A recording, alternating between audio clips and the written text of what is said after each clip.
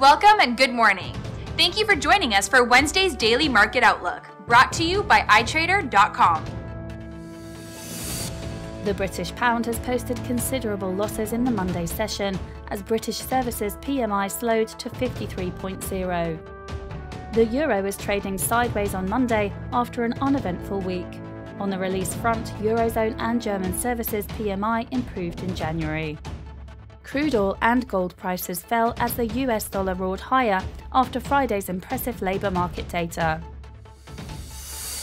The euro dollar pair currently has a heavy bullish outlook, the stochastic RSI is now signalling oversold after recently dwelling in the bullish area.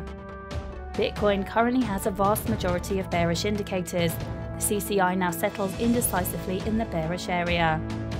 The price of crude oil is looking neutral at this point. The Williams oscillator lacks continuity in recent sessions, now dwelling in the bearish area.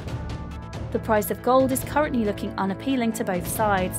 The Williams oscillator now settles indecisively in the bearish area the German industrial production at 0700 GMT, the Canadian building permits at 1330 GMT, and the US consumer credit change at 2000 GMT. The US ADP employment change will be released at 1315 GMT. The Eurozone's non-monetary policies ECB meeting at 0800 GMT. The Japanese leading economic index at 0500 GMT.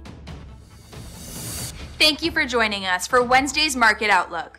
We hope that you will tune in tomorrow morning for the latest events in the market. Until then, be sure to log into iTrader.com for all of your trading needs. Your personal account manager is ready to answer all of your questions.